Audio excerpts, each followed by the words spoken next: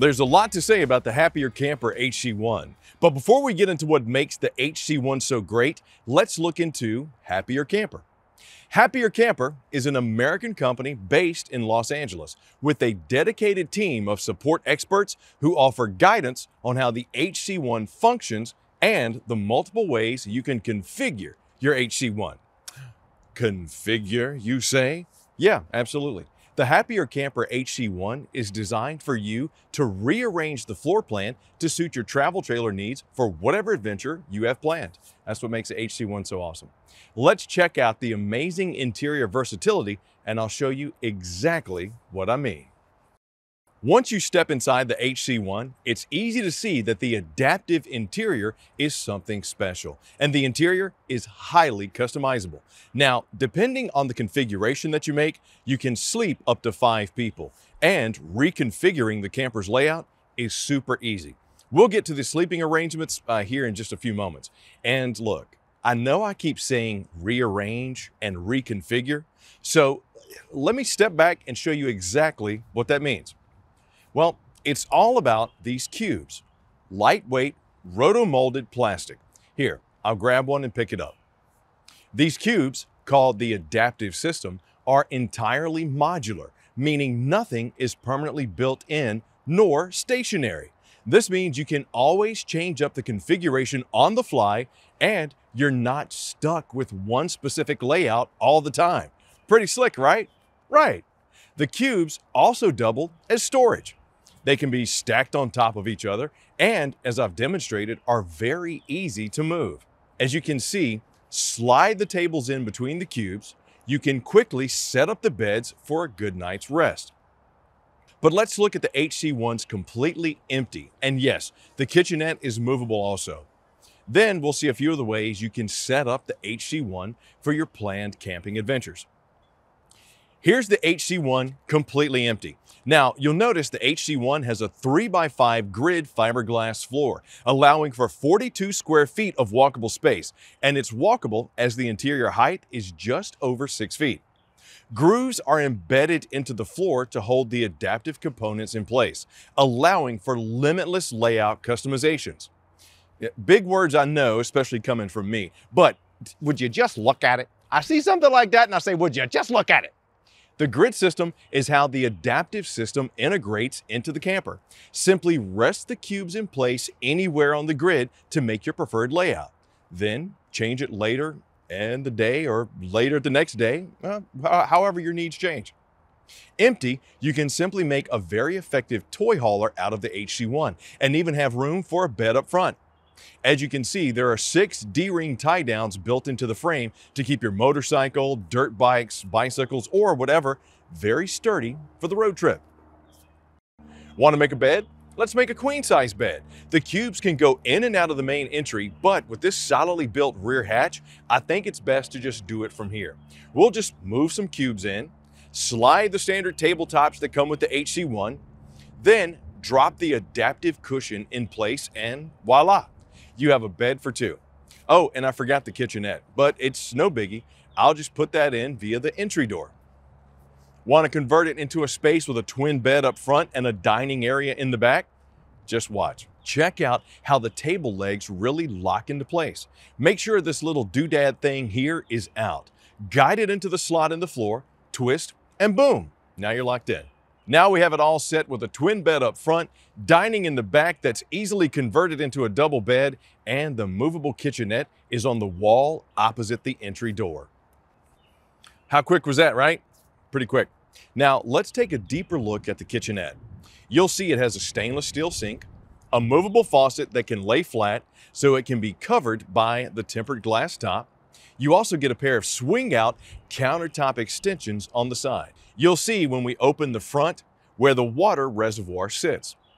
You can also get one of those handy dandy storage pouches for tools right on the inside. Now, under the sink sits the cooler, a mini fridge of sorts that plugs into the 12.5 volt outlet. Holds more than you might think as well. Now, speaking of plugging in, here's where both the sink and the cooler plugs in. Again, the cooler is a simple 12.5 volt outlet. The water, fresh and gray, simply hooks right into here. And on the outside of the HC1, you'll find the quick hookup to the city water. I mean, I love the ease of this thing. I kind of glossed over the cushions, so let me give you some deets on those right now. Whether you're getting a good night's sleep or lounging in your camper, these adaptive cushions will keep you comfortable because they're memory foam cushions. They're wrapped in UV protected sunbrella fabric, so you can use them indoors or out. Don't even have to worry about it. Now, you can look at this setup on a typical one. You say, oh, this will probably sleep three. True, but you can adapt the system to make a mega bed and a plus one to sleep four. You can even get a package with a bunk bed. What? Yep. Then you'll be able to sleep five. Oh, look, a second storage pouch is right here on the inside of the entry door. I'd put items that you needed to hurry uh, to grab that you don't want to go digging for, like maybe water bottles, sunscreen, that type of stuff, maybe your Pez dispensers, because you never know when you might need them. Uh, other places for storage, these upper compartments with the easy slide opening. Put your clothes here, board games, books, and more, and you got them on both sides. Now, I can see your brain is spinning because it's a lot, but I have that ability, you know, because look at me. What happens when this thing gets dirty? Well, after all, it's camping, and there's no such thing as a successful camping trip that doesn't have dirt involved somehow, especially if you take the kids and the dogs.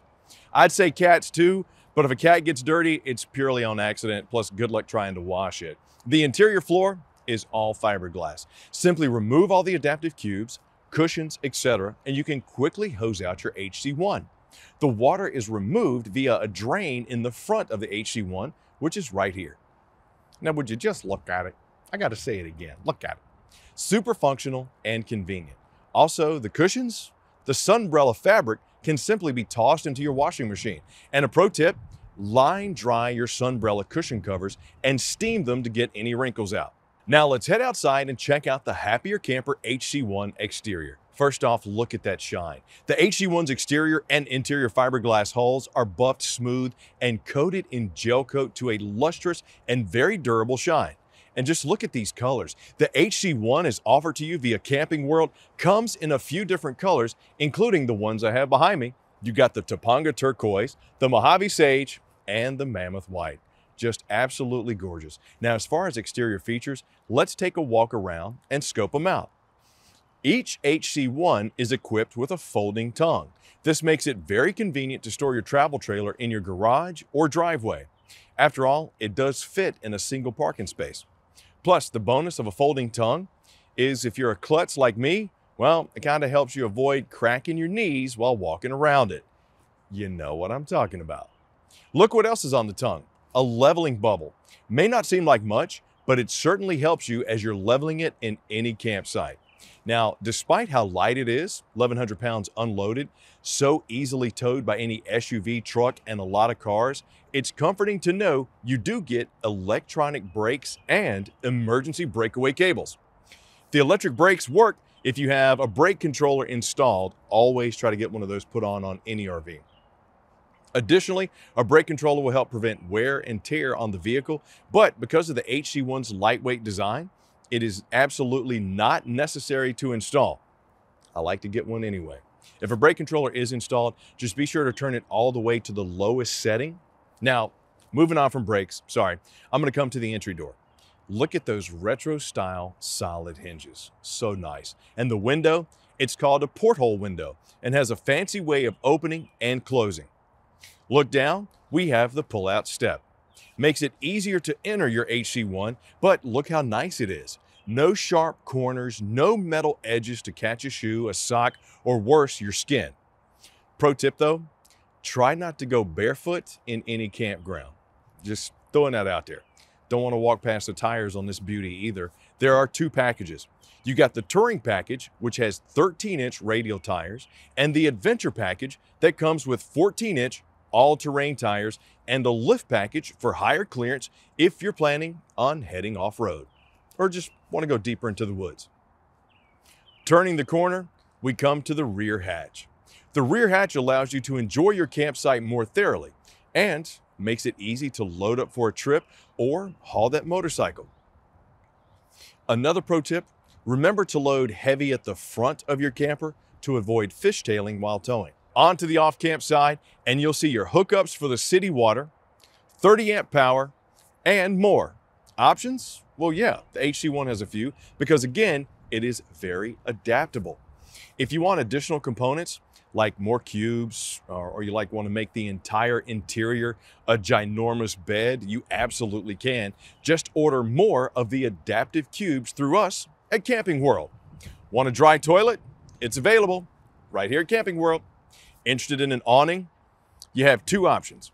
You got the suspension awning or a crankout awning available for installation as well. Would you like additional solar? You can also get that, guess what? From us right here at Camping World. I talked a lot about the amazing adaptability of the Happier Camper HC1, as well as the fabulous features. Now let's talk construction. A Happier Camper HC1 isn't built just to last camping season after season. It's built to last for generations. I can see that if properly stored and maintained, someone could easily say, oh, that, that's great grandfather Chris's travel trailer. Man, he'd be out forever in that thing. Come home, clean it up, shine it up, and it'd be as fresh as a daisy again for another trip. Now, uh, Chris, he's not as fresh as a daisy anymore. He's pushing them up. But the camper still is fresh. But seriously though, let's talk about the HC1's materials. The dual hull fiberglass shell is incredibly strong, yet lightweight.